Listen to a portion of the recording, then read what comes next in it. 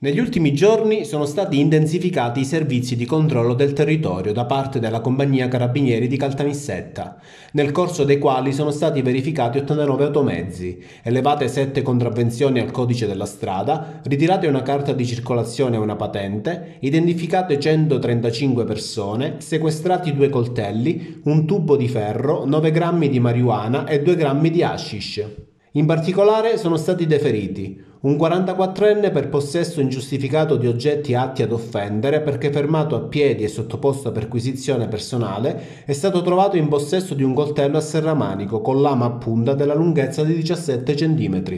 Un 39enne, poiché controllato a bordo di autovettura e a seguito di perquisizione veicolare, veniva trovato in possesso di un tubo di 80 cm che trasportava senza giustificato motivo.